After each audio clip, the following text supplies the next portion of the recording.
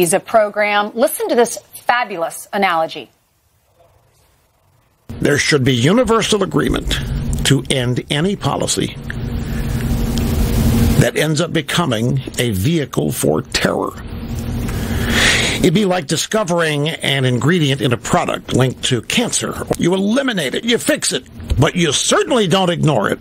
People should be vetted as vigorously as what we consume is vetted.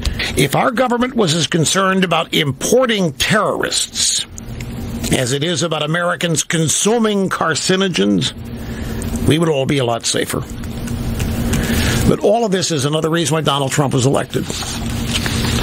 Because majorities of people are fed up with what appears on the surface to be the dumbest and stupidest policies a country could have if its intent is to thrive and prosper. And this attorney general was supposed to end that, and he hasn't. He's done.